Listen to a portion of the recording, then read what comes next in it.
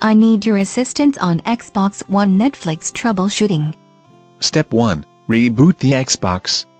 It is called power cycling now. Step 2. If that does not work, update it and reboot it. I know it is made by Microsoft, but this is getting ridiculous. Step 3. Update the Netflix app in case that needs to be updated to keep up with the Xbox One updates. Do I have to reboot it a third time? I'd say close the app after updating it and bringing it back up, but you can reboot it again if you want. I'm assuming you have a Netflix app, though. Of course. It's free. Not the subscription, though, after the free trial most people get. If you have not paid them, the service will get cut off. They're certainly happy to bill me every month for it. Double check the error message as to whether the Xbox or Netflix is reporting that the application is unavailable. And anything that could interfere with your Xbox network connection could kill the Netflix access by timing out.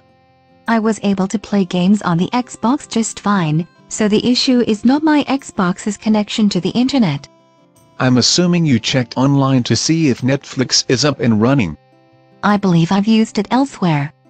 If anyone else is using your Netflix account, it may not let you play video until someone logs off. I have not given the credentials to other people. Check your account for recent streaming activity to see if there's someone else using the account. At that point, the problem is something you have to take up with Netflix. Nothing was out of the ordinary the last time I checked. Did the show die halfway through?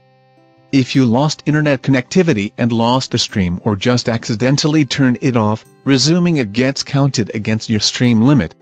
This sounds like something fixed by rebooting, which is very Microsoft. Could it be because I'm on a console with Netflix and was last watching on a PC? If the device doesn't have an electronic serial number assigned by the manufacturer, it cannot connect to the Netflix account. Where is the ESN? They have a fancy sequence on the help.netflix.com site on how to find the ESN value. If the app then sees the ESN, exit there and restart the Netflix app, and if Netflix doesn't see the ESN, you know why it can't run the app. You'd think there'd be an app for that too. That'd be the Xbox support option.